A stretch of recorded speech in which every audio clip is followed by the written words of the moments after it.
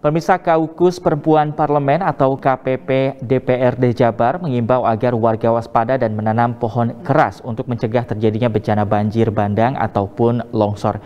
Imbauan tersebut disuarakan KPP DPRD Jabar setelah meninjau kerusakan rumah di kawasan PTPN 8 di Dusun Pepandayan Desa Neglawangi, Kecamatan Kertasari, Kabupaten Bandung pasca banjir bandang yang terjadi. Kaukus Perempuan Parlemen atau KPP DPRD Jawa Barat meninjau lokasi pemukiman yang diterjang banjir bandang di Kecamatan Kertasari, Kabupaten Bandung.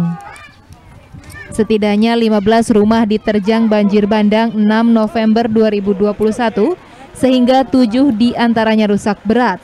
Wakil Ketua DPRD Jawa Barat Ine Purwadewi Sundari menyatakan penanaman tanaman keras penting dilakukan untuk mencegah banjir bandang ataupun longsor saat hujan berintensitas tinggi turun. Uh, uh, melihat ini ya saya berharap ke depan mungkin uh, tidak lagi kita menanam yang tanaman-tanaman sayuran tapi sudah beralih ke tanaman-tanaman yang kuat ya yang bisa ya tanaman keras yang bisa juga menjaga lingkungan kemudian di musim-musim uh, hujan seperti ini tetap menjaga uh, apa lingkungan.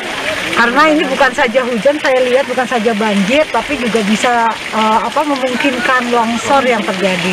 Ya kami teman-teman di sini bukan saja uh, apa perwakilan satu komisi tapi ini semua komisi bersama ya.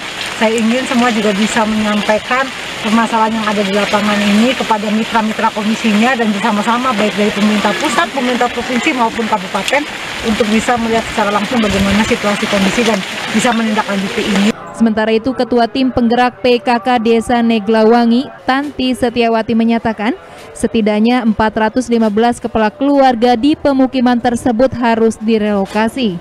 Untuk uh, membantu menyelenggarakan ini bantuan-bantuan, mengasih bantuan-bantuan uh, kepada masyarakat yang kena korban.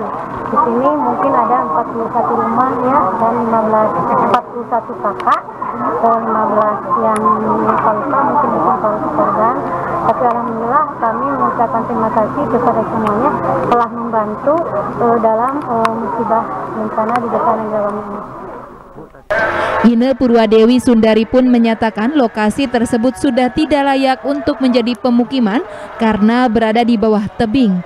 Ine pun meminta pemerintah daerah setempat untuk merelokasi warga di daerah yang tidak rentan bencana. Budi Hartati, Bandung TV